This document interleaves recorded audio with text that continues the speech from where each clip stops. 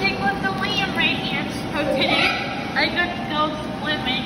So yeah guys, how am I gonna do it? Go to that side, swim.